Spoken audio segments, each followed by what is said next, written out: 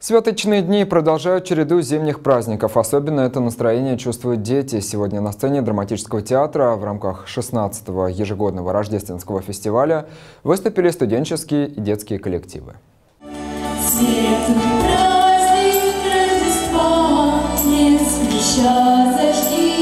Юные певцы, танцоры, артисты школьных театров съехали со всей области. Будь то музыкальный номер или декламация, красной нитью через всю программу концерта проходит одно событие – рождение Иисуса. Традиция Христославия берет свое начало еще с ангельского хора в рождественскую ночь. Они первые прославили Христа, а мы продолжаем славить Христа уже две тысячи лет. Ну, конечно, очень важно, чтобы мы прославляли Христа не только церковными песнопениями, колядками. Важно, чтобы мы прославляли Христа своей жизнью.